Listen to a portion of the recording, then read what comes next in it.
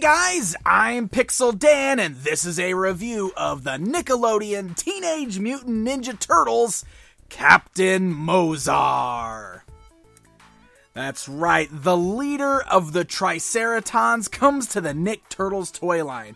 The Triceratons are a big deal in the current season of the cartoon series, so it's pretty sweet that we're already getting the leader of the team on the toy shelves. So let's go ahead and take a look at this brand new action figure. As you can see, he comes on that Nick Turtles blister card packaging featuring that new artwork with the Dimension X logo across the top and all four turtles in their spacesuits from the Nick Turtles cartoon series, and of course the blister bubble that fully showcases our action figure within. When you flip that box around to the back side, we get a bio for Captain Mozar, and down below that, we get a look at several other TMNT action figures from Playmates Toys. Alright, so let's go ahead and take a look at Mozar outside of the packaging. Like I said, the Triceratons are a big deal this season, and it's another one of those classic Ninja Turtles characters that is so cool to see return in the new series and in the new toy line. We've had many versions of the Triceratons in past toy lines, and this new figure here is pretty sweet. One thing that I absolutely love about this particular figure is the sculpting. I really feel like Playmates did an amazing job with the overall look of this character. Let's start with that head sculpt, because the head sculpt is the part that truly shines on this guy. The amount of detail that is put into the sculpt of the head is just perfect. I mean, look at that amazing Triceratops looking head there. Uh, I just love all of the sculpted detail. Almost like you got some cracks and everything up here uh, in the top portion, the crown going around the head. Um, but lots of great kind of reptilian scales and everything worked in. Uh, you can see over on the side of the head there, we got the nice scar kind of coming across the eye. Um, you know, the nice little silver plate on the front of his nose there. You got the blue eye on the right side. Overall, just a really, really great sculpt. Uh, and the paint job is decent on here with the horns uh, being a different color than the uh, kind of yellowish of his skin. Uh, the eyes are painted. Of course, you got the blue eye, and then you got the whited out eye where the scar is, and the nice silver and red seen on the nose plate there. Um, really, really great head sculpt. I love it. Um, the rest of the figure looks pretty great as well. When you come down and you look at a space uniform there, there's a nice amount of detail worked into that. Also, uh, great textures on there, along with the little Triceraton insignia seen on there. Uh, the body is mostly done in just a solid black, but we do have some really nice gray highlights seen on the stripes on the sides, uh, kind of coming down the front. Of course, all the yellow bits are painted there. Um, and that brings you down to the boots, which are very, very unique looking boots. Uh, I do love the way it's kind of sculpted to look like it's all dinged up and everything. Very nice looking. Um, the boots are bright yellow.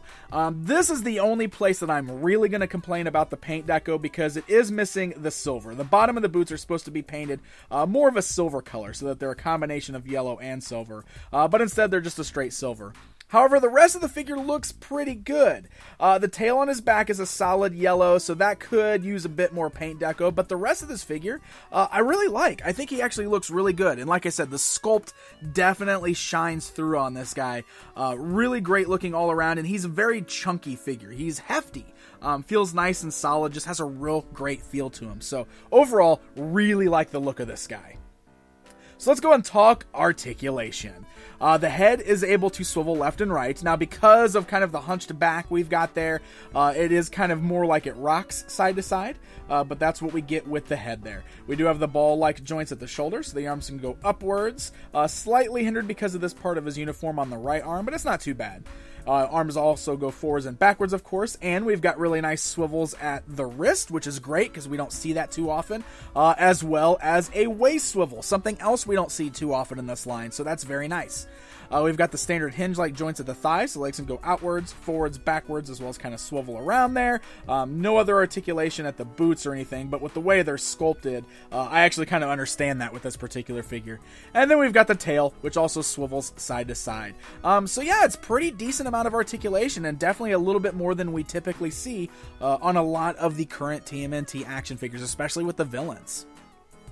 Uh, biggest downfall with this guy is the fact that he doesn't include any accessories, which is a real bummer. He should definitely have at least a blaster of some sort. In fact, that bio on the back of the box lists his preferred weapons. Why doesn't he come with any of those?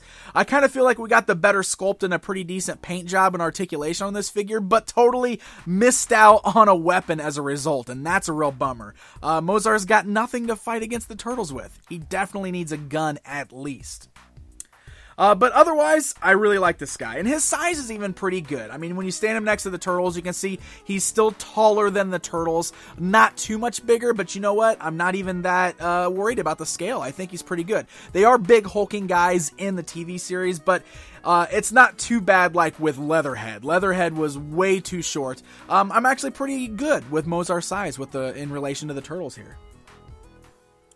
All right, my friends, it's comparison time. Here's a look at Captain Mozar standing alongside the vintage Triceraton figure. Um, pretty cool looking at these guys side by side here.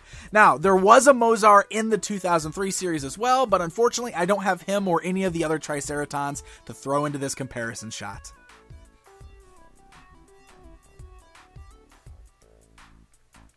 So there you go, my friends. There is a look at the brand new Captain Mozar, leader of the Triceratons. Overall, I do really like this figure. I think it's a great sculpt, one of the better, more detailed sculpts that we've seen in this line so far. Biggest downfall is that he has no weapons. That is my one true complaint about this figure, but otherwise, he's pretty great. Uh, and also, I found that this one is pretty easy to come by right now. He is exclusive to Walmart stores for the rest of 2015, and it kind of seems like Walmart's getting full cases of both him and Lord Dregg. So hopefully, you'll be able to track him down and add him to your collection pretty easily.